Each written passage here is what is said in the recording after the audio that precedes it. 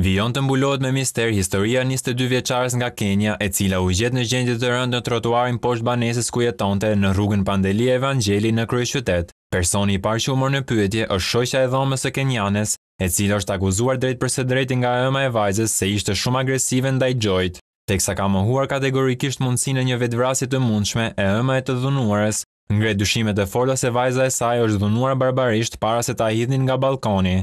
Deri në këto momente policia ka shoqëruar për marrje dëshmie disa persona që dyshohet të kenë qenë në shtëpinë e vajzës në datë trembëdhjetë gusht kur ndodhi ngjarja e rëndë. Në sitën e policisë po kalojnë të gjitha kontaktet e të resë, e cila kishte vetëm shtatë muaj që kishte mbërritur në Tiranë me një kontratë pune në një kazino pasi kërkonte të largohej nga vështirësitë ekonomike të vendit të saj. Në këtë kazino njëzet e dy vjeçarja punonte si shpërndarëse letra pokeri. Puna e saj gjithashtu po verifikohet nga policia së bashku me kontaktet në vendin e punës për të zbuluar ndonjë detaj që mund të çojë në zbardhjen e kësaj ngjarje.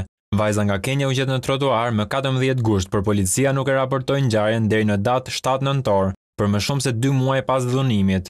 Hetimet gjithashtu filluan me vonesë pasi policia e referoi rastin dy javë pasi u gjet e reja e dhunuar. Sipas burimeve nga spitali, vajza nga Kenia me emrin Joy është dërguar për ndihmë me tre brinjë e kocka të thyera, lëndime në dorë e stomak dhe dëmtime në tru. Prokuroria ka marrë aktekspertimin mjeko-ligjor për njëzet e dy vjeçaren në bazë të të cilit është referuar edhe vepra penale Plagosja e rëndë me dashje. Joy prej më shumë se tre muajsh ndodhet në spitalin e traumës ku po lufton për jetën me dëmtim kryesor në tru.